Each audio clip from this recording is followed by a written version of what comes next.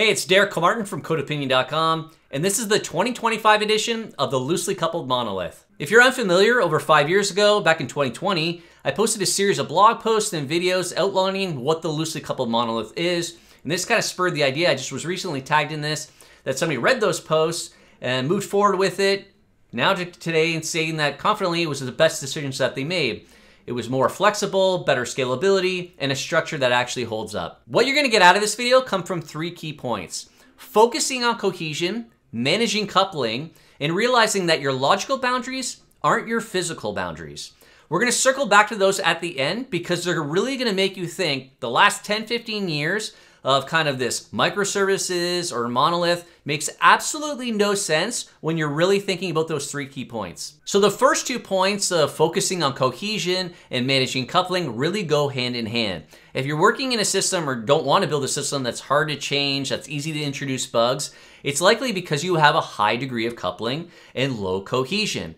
That's where we really want to focus in on breaking apart a big system and don't produce a big system. But what I say is instead of building a turd pile, really what you want to be doing is building a little piles of turd, basically, because the reality of any system is not everything is going to be great. Sure, we want to think that everything is like this gold plated or diamond you know what I mean? Awesome system. But the reality of it is, you may have parts of your system that are great. You may have parts of your system that aren't so great. But really, what we want to do is we really want to break apart our system into logical boundaries. Before I get too deep into finding the structure of a loosely coupled monolith, I'd like to thank Kurrent for sponsoring this video. Kurrent's an event-native data platform that feeds real-time, business-critical data with historical context in fine-grained streams from origination to destination, enhancing data analytics and AI outcomes. For more on Kurrent, check out the link in the description. So what's a logical boundary? Well, it's just a grouping of functionality that the capabilities of your system. They're not all created equal. Oftentimes you're gonna have the core part of your system, that's really where the value is and kind of those are the capabilities that your end user are using. But there's also other parts of the system that are required, they're essential to support that core part of what you're doing. Here's an example of this in transportation that's really gonna illustrate some important concepts. So I have a logical boundary on the left called recruitment and a logical boundary on the right of dispatch. I put some concepts within inside of them to kind of illustrate this. So on in recruitment, we have things like a driver, a vehicle, compliance, and in dispatch, we have things like a shipment, a vehicle, a driver, and a position. Now, oftentimes this is the way developers are thinking about logical boundaries. Specifically, if you think of, say, like the driver, the vehicle, as entities. And we're really often focused on entities. That's the first mistake because entities don't really describe what the capabilities are and the functionality. Because one model doesn't need to rule them all. And this is why it's so important is that you'll see here that I have vehicle listed in both recruitment and dispatch. In recruitment, the vehicle has things like compliance related to insurance, uh, the driver has things like their driver's license, etc. And it's kind of more in that supporting role because the real value of our system relates to dispatch. The vehicle in dispatch, while it's representing a vehicle, isn't the same concept of a vehicle as it is in recruitment. They have very different concerns. The vehicle in this case is related to a shipment that's executing a shipment. The, the actions that are performed here it's beyond entities. Really what we're focusing on are what are the capabilities. So that relates to the first point of focusing on cohesion about the capabilities of your system. And that's how you're defining your logical boundaries. As to give an example of what those capabilities are, on the dispatch side of that particular boundary, you're doing things like dispatching an order. Once you actually execute and go through the workflows, part of the workflows are arriving at the shipper or the consignee, picking up the freight, departing, positions along the way en route to the delivery, arriving at the delivery, unloading the freight, related and having copies of the, your bill of lading.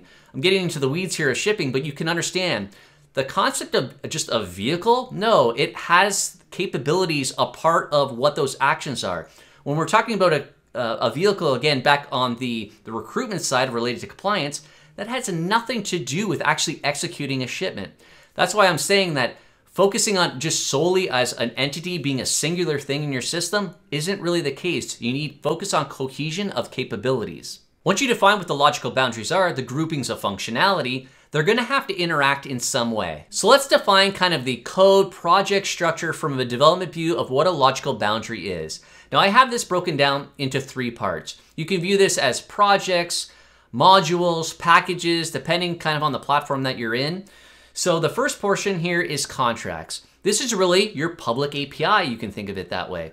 This is the lowest form of coupling kind of constructs that your platform supports. An interface, a delegate, a function definition. Could just be kind of a plain class or object of a schema definition of a message. I'll get more into that in a second. So this is kind of what you're exposing from your logical boundary. This is kind of like the public API. Your implementation is the actual code that actually has to execute and do what it needs to do, right? So if you think about you have an interface, well, this is the implementation of that interface. So we have to manage coupling. And that's the way we're doing it is that we're not having other implementations reference other implementations. Rather, we have implementations reference those contracts, that public API. So we can see on my middle um, boundary here, it's referencing the contracts from both other logical boundaries. That's how we're managing coupling, is managing coupling to those public APIs, to those contracts. Because each logical boundary defines its capabilities, the functionality, of course there's data behind those capabilities that we have to persist, manage, etc. And each logical boundary owns its own data. That's why I'm illustrating it this way. Oftentimes this gets confused, this illustration, thinking like, well, each has to have its own database. No, not at all. It really could be living in the same database instance. Each just has its own schema, its own ownership of a set of tables that it is the only one that reads and writes from. So regardless of how you're kind of defining where you're persisting data, it's about ownership of that data from the capabilities that kind of need to manage it in that logical boundary. In other words, we can't have that middle logical boundary just reach out and query or update data from another logical boundary. This cannot happen. We have to be using that public API, that contracts. That's how we're managing coupling. We don't want to have another form of coupling to our schema at the database level. So where does the loosely coupled part of the name come in? Well, we defined our logical boundaries, focusing on cohesion of capabilities. We're managing coupling the best way we can right now, but there's other ways to manage coupling, and that is being loosely coupled through messaging. One of the benefits that messaging gives us is it removes the temporal aspect of that coupling. So we can have two different boundaries coupled to each other because they need to communicate and interact with each other, but they don't need to execute at the exact same time. So I'm illustrating with a message broker here, but at the end of the day, it's really just about message passing and executing asynchronously. This could be using your database, in process, with separate threads, depends on your use case and what actually works for you. But to illustrate the point of messaging, my part here is like we have one logical boundary that something's occurred. And we actually want to publish an event to some message broker that we have other logical boundaries that need to be aware of something actually occurred. And they can react to that and consume that message and process it. We're not having an implementation uh, reference directly another contract for execution purposes. We doing that for kind of the message schema purpose. That's another kind of point of the contracts project, is what the schema is for the message. So we're not coupled at runtime at all here. Really, we're asynchronously publishing messages and consuming them separately, all within the same monolith. Now, everything I've illustrated so far opens up a lot of possibilities and different ways that you can take this. One of them is scaling. So we have three logical boundaries and I put them all in this blue box to illustrate one thing that this is all the same code base. But the reality of it is how you build this and deploy this can be different. So we're talking about, okay, well, maybe we have an HTTP API for kind of a web portion, and then we're using messaging, so we also have to consume messages. Well, really, those are just two different entry points into your application, into your system, and how you feed those messages through the pipeline of whatever your web framework is, or may, maybe however you need a messaging framework library to process messages. But ultimately, our HTTP API and the worker, it's the same code base. It maybe just be building out different executables or different containers. I'll get that into a second, but that's what allows this scale. It's still a monolith. We're still using the same code base, but we're outputting two different entry points. That means that we can scale out each individually. Maybe we have more web traffic, so we scale our HTTP API behind a load balancer differently. Maybe we have a lot of more message processing, and we can scale that, our workers that consume our messages from our queue, our message broker, separately. You can scale out how you want differently.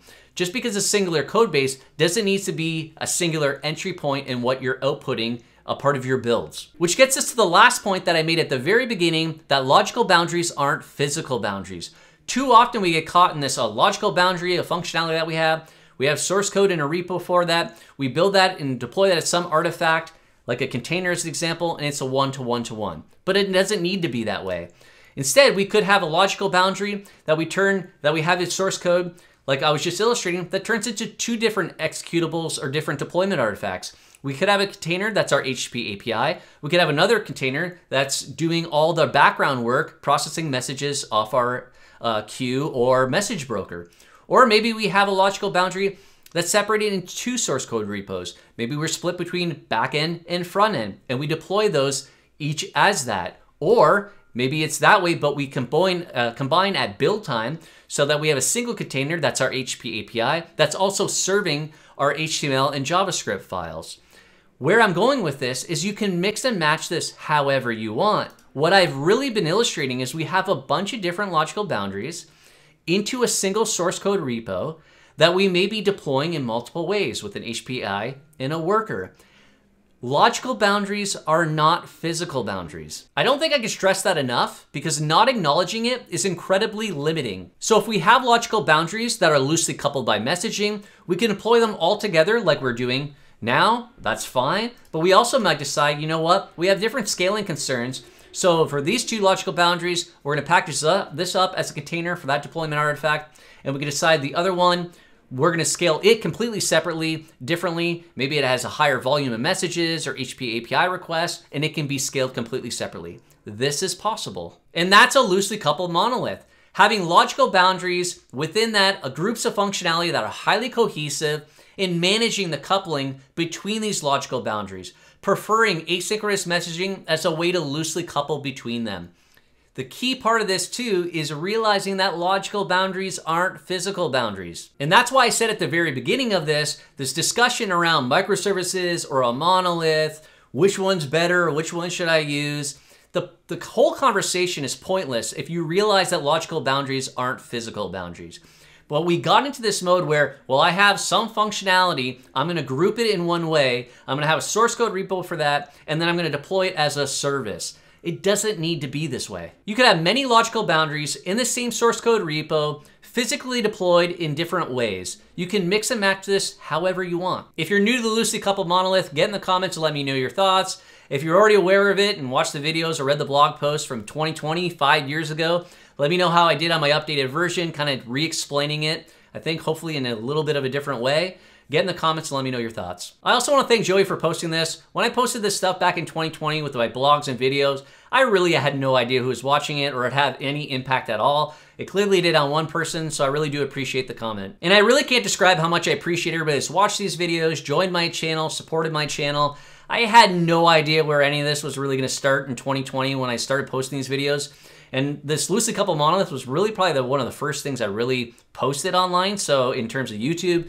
So again, I really appreciate everybody for your support. If you want to support my channel, you can join it. The link's in the description on how to join. You can get access to a private Discord server, chat with other software developers about topics like this and software architecture and design. The link's in the description on how to join. If you have any other thoughts or questions, make sure to leave a comment. And please subscribe for more videos on software architecture and design. Thanks.